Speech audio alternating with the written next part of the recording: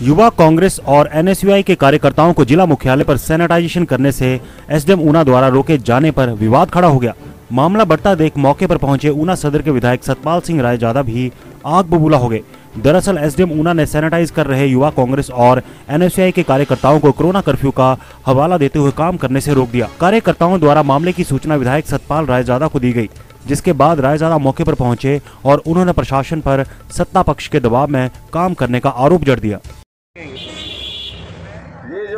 जिस तरीके से प्रशासन भाजपा के हारे नकारे नेताओं के ऊपर चल रहा है, नेताओं के ऊपर काम कर रहा है, मैं तो खुद डीसी साहब के पास गया था और मैंने डीसी साहब से ज्ञापन देकर ये पूछा था कि हमारे लोग सैनिटाइज करना चाहते हैं और मैं खुद पूरी विधानसभा क्षेत्र को सैनिटाइज करना चाहता हूँ और बड़े तरीके से ताकि ट्रैक्टरों को लगाकर बड़ी मशीनें लगाकर पूरी विधानसभा क्षेत्र को मैं सैनिटाइज करूँ। लेकिन डीसी महोदय ने ए, हमें परमिशन नहीं दी। लेकिन उसके बाद भाजपा के कार्यकर्ताओं ने जिस तरीके से हमारा विरोध किया कि आप सही काम कर सकते हैं सैनिटाइज कर सकते हैं, लेकिन अकेले अकेले कर सकते हैं तो मैंने अपने यूथ कांग्रेस और एन के लड़कों को पंप देकर ये बोला कि आप अकेले अकेले जाकर सैनिटाइज करिए क्योंकि इस वक्त कोरोना की महामारी में हम सबको सहयोग करना है। लेकिन जैसे ही इन्होंने काम शुरू किया एक दो, दो दिन हुए और तीसरे दिन एसडीएम ने आकर खुद इनको रोका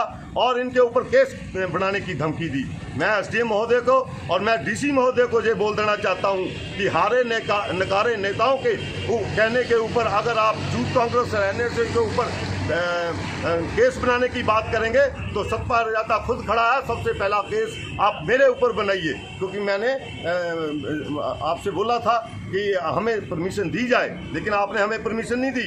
लेकिन और और लोग काम कर रहे हैं, उनको आप परमिशन दे रहे हैं। और इससे ज़्यादा ना मैं बोलते हुए मैं फिर बोलना चाहूँगा कि प्रशासन को अपना काम करना चाहिए।